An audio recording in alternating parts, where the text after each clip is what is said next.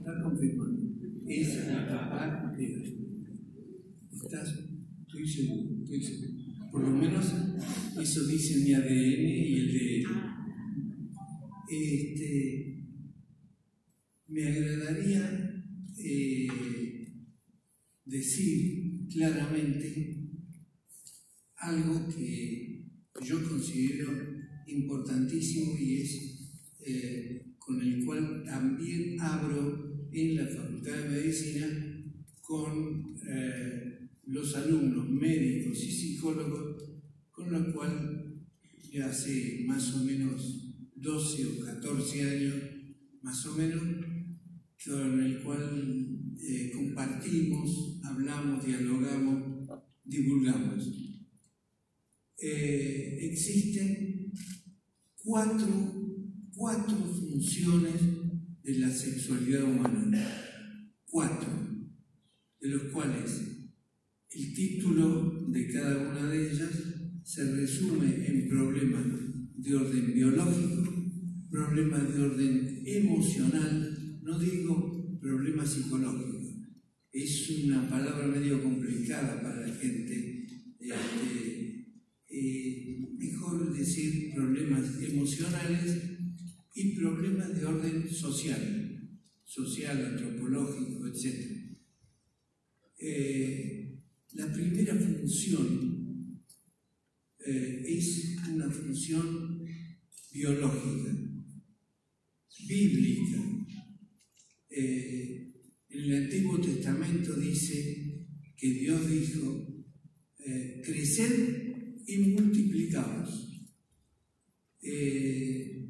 este hecho marca por lo menos desde el punto de vista biológico, una función muy importante que no todo el mundo puede cumplir.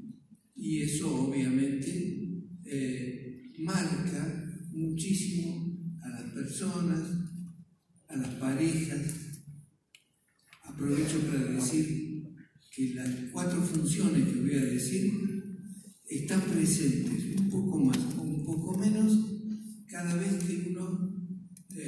tiene un problema, llamémosle así, de tipo sexual. Mucho o poco están las cuatro situaciones presentes. Eh, este hecho biológico eh, está metido en los genes, en las células elementales con las cuales se construye persona. Hay una función que viene arrastrada del mundo animal, justamente porque eh, si uno estudia, por ejemplo, cualquier animal o inclusive las funciones de la célula, entre otras cosas, entre respiración, existencia, etc., hay la función de reproducirse. Eh, hay problemas en la reproducción y eso hará tal vez la posibilidad de que lo expliquemos en, otra, en otro encuentro, que va a haber, aviso que va a haber. Este es un eh, encuentro inaugural y que ustedes tienen que saber lo que ya dije que es revolucionario. Hay un antes y un después de este encuentro. La segunda función es una función fisiológica que dice que cuando dos eh, pieles se tocan, por convención se produce una sensación que llamamos placer. Mucha gente en la historia murió por esto, por decir que buscando reproducirse tuvo placer. Mucha gente murió por esto, estamos hablando eh, de la época medieval, desde ya que aprovecho para decirle que eh, los problemas de la sexualidad no son de hace 10 años, 20 años, son problemas, un de sus raíces en la historia humana. Tanto con lo, permisivo que fueron como lo represivo que fueron. Placer, placer. Hay numerosos problemas que hacen que o tengamos o no tengamos placer o lo tenemos de baja monta, por decirlo claramente. La tercera función es una función emocional, psicológica. Es eh, el intento de tener relaciones sexuales como elevación de la autoestima. De eso se va a ocupar más en detalle que yo la licenciada este, que está a mi lado, justamente, y que entiende bastante más que yo de este asunto. Pero yo me adelanto para decirle que cuando hay un problema sexual, hay baja de autoestima. Doctor, marido no me toca.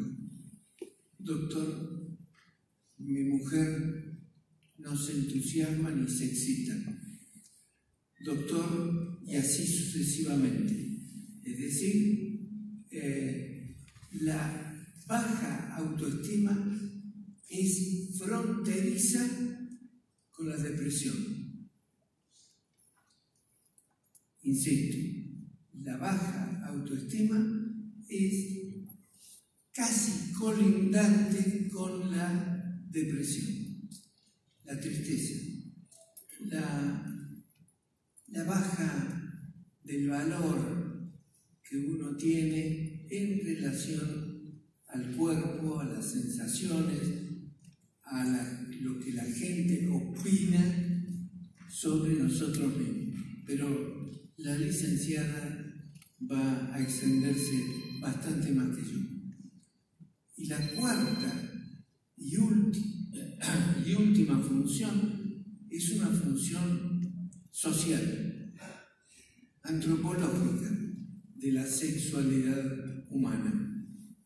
Eh, el ser humano es el único mamífero de la corteza terrestre que se esconde para tener relaciones sexuales. No tengo ninguna duda que la gran mayoría de ustedes tienen relación sexual, pero no acá no acá. Forma parte de la educación del ser humano. Los animales, ustedes lo saben más que yo, acá, en la calle Medrano o en cualquier calle de la ciudad de Buenos Aires, tiene relaciones sexuales sin pedir absolutamente nada, ni permiso, ni absolutamente, es, está abiertamente considerado. No ocurre con el ser humano. Un ejemplo de nuestro más importante antropólogo francés, lamentablemente ya fallecido, Claude Lévi-Strauss, que enseñaba y decía que si nosotros tenemos la oportunidad de explorar un bosque o una selva y encontramos en un claro del medio de la selva un conjunto humano desnudo o semidesnudo, apenas con taparrabo, y no sabemos si han tenido contacto o no, o somos nosotros los primeros que lo descubrimos. Y solo, decía Strauss, es solo ver si para tener relaciones sexuales se esconden. Si se esconden, se apartan del grupo para tener relación es porque han tenido contacto poco o mucho con otros grupos anteriores a nosotros que anteriores a nosotros grupos humanos que es distintivo. Eh, marca de las muchas que existen distintivo de que han entrado en la civilización marcas que muestran el título de uno de los tratados antropológicos de Levi-Strauss es lo crudo y lo cocido. Observen ustedes, si han entrado en la civilización, han utilizado el fuego para cocer los medicamentos. Bueno, los medicamentos y los alimentos casi, los alimentos son casi medicamentos para muchos de nosotros. Eh, por favor, recuerden esto que acabo de mencionar. Un problema sexual que no existe y obviamente justifica eso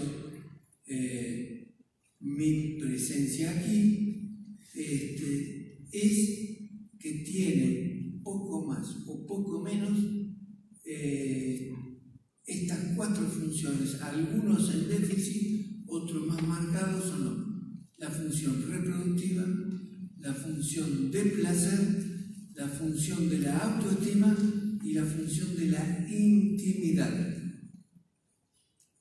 Hoy, hoy, mucha gente adultos ellos, 60, 70 años. Aunque parezca mentira que les voy a contar, hace alrededor de 5 o 6 años se me ocurrió juntar estudiantes de medicina en pareja para que hagan una encuesta al uso nuestro este, de todos los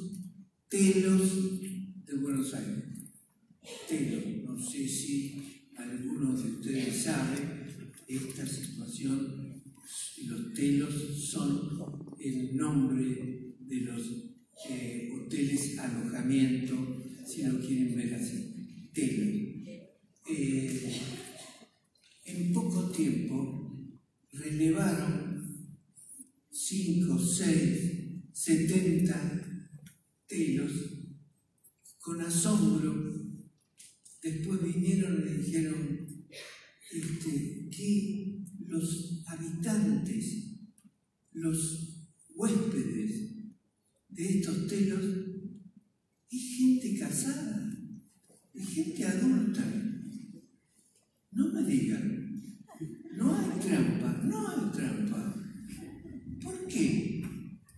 Pudimos averiguar, muchos de ellos dijeron, que eh, uno, de los días más frecuentados de esta gente son los sábados a la tarde.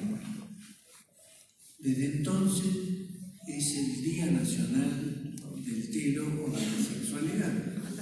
¿Por qué? ¿Por qué? Porque esta gente quiere tener relaciones sexuales. ¿Por qué no las tiene? ¿Quién se lo impide? Se le impide que eh, hijos ya adultos, adolescentes, etc., se juntan los sábados a la tarde, vienen a tocar la música, el bombo, todo ese tipo de cosas, y hacen lío, hacen este, ruido. Bueno, pero discúlpeme, ustedes hace 30 años que están juntos, este, cierran la puerta y tienen relaciones sexuales. No. ¿Cómo no? No, no cerramos la puerta. Perdón, ¿por qué no cierran la puerta? Ese es un problema. Desde que eran chiquitos, ella, sobre todo ella, de eso que se llama la muerte súbita del lactante. Y estaba conmigo abrazada, pero el oído estaba en la otra pieza. Desde entonces no se cerró la puerta. Pero, escúchame, ustedes ahora son gente grande, 25, 30 años de vida en común. Si, si cerramos la puerta, ellos se darían cuenta. ¿Ellos quiénes son ellos? Nuestros hijos los amigos. ¿Y tienen problema de eso? Muchas veces. Muchas veces. La intimidad tiene problemas. Y muchas veces la indicación más importante es la de un cerrajero para poder intimidar o visitar un telo.